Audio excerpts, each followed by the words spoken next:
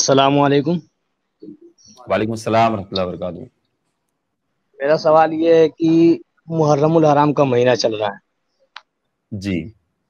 और इसमें दस तारीख को लोग जो ताजिया खेलते हैं ये ताजिया खेलना कहाँ तक सही है और कहाँ तक गलत है?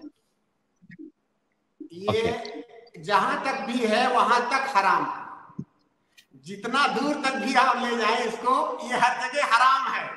ये महीना अल्लाह के नबी वसल्लम के ज़माने में भी था सहाबा के ज़माने में था उसके बाद सलाफ के अदवार में था। ये इसका इस्लाम से कोई ताल्लुक नहीं है। कोई भी भाई। का ताल्लुक नहीं इस्लाम के तालीम से कोई ताल्लुक नहीं है शेख ने बताया।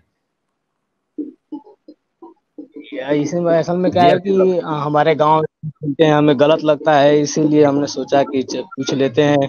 नहीं गलत है। अल्लाह ताला ने आपको बचाया हुआ है उससे इस पर शुक्र अदा कीजिए और उससे दूर ही रहिए।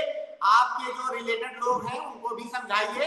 आप कहिए कि अगर ये कोई अच्छी चीज़ होती अरे नाच गाना बाजा इस्लाम का हिस्सा कैसे हो सकता है? जो आदमी पूरे साल साल नमाज़ नहीं पढ़ता है रमज़ान में वो भी जो है ढोल पीटने लगता है ये इस्लाम कैसे हो सकता है मैं एक कॉमन सेंस से सोचिए जी इनशाला जजाकल्लाह खैर उम्मीद है कि शेख अतिउल्ला भाई को जवाब मिल गया होगा।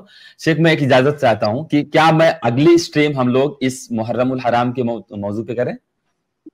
आ, अभी योम आशुरा इस बार के शनिचर को पड़ रहा है। जी। तो अगर हमारा अगला प्रोग्राम होगा संडे को। जी। ठीक है कोई कोई बात नहीं। अभी आप आवाज़ सुन रहे हैं कि हमारे शेख? जी।